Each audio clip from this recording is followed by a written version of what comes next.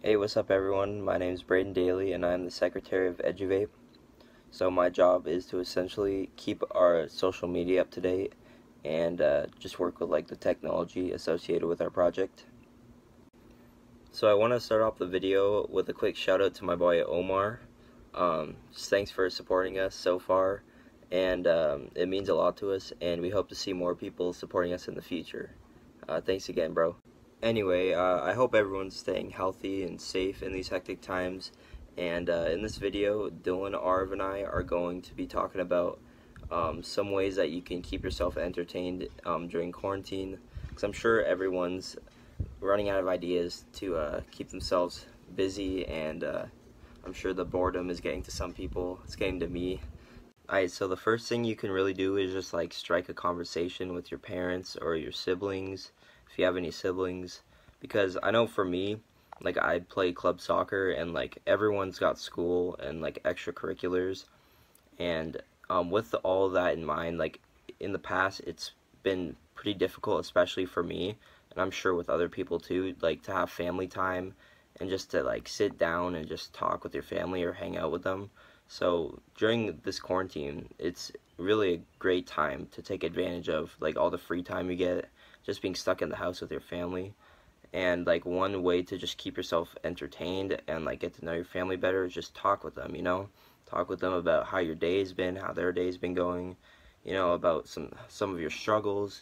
You know it doesn't as long as long as you like just get to know them better and just hang out with them you'll create a lot more memories with them. And and especially during this time with all the extra free time you have it's a great way to like take advantage of that so I recommend th doing that to like keep yourself entertained just to get to know your family. But other thing you could do with your family is even just like go out on a walk. Like I have a dog. If you have like a pet that like you want to go out and take for a walk or even if you just want to go with your siblings, you can just go outside and just hang out with them, play some sports with them, play video games with them, do whatever. Just like hang out with your family because like stay safe and um, just hope you guys have a great summer.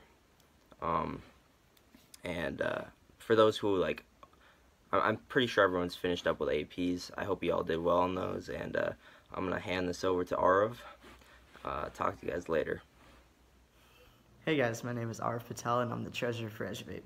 Basically, I keep track of our money through multiple budgets, and I make all the payments. Similarly to what Braden said, I would strongly advise not going outside right now. Even though some states are starting to loosen their restrictions, President Trump just released new guidelines for opening up America, which are supported by his health experts.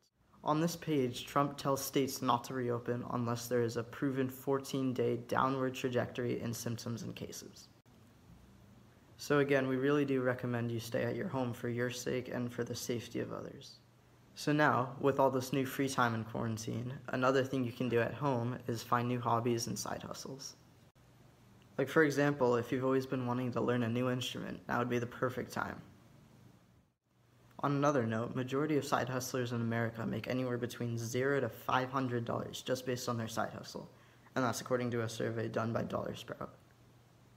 Say you start selling clothes, maybe 10 per week, and you sell each article of clothing for 7 to $10 each. That's an easy 70 to a $100 just right there. But that's enough about money. I'll send it over to Dylan. The third and final thing that you should be doing is creating a daily schedule for yourself through the use of a planner or a calendar. Now, I am not saying that you should follow this schedule second by second, but sticking to it will create a routine. A steady routine creates good habits, and good habits produce good results, and all this starts from a simple schedule. Take one of our founding fathers, Benjamin Franklin, as an example. He followed a simple yet ingenious work plan to get all the things he wanted to get done in a day.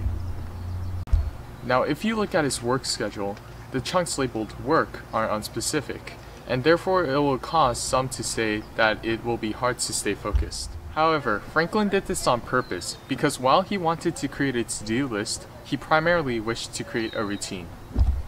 Now if all of this seems overwhelming, do not worry.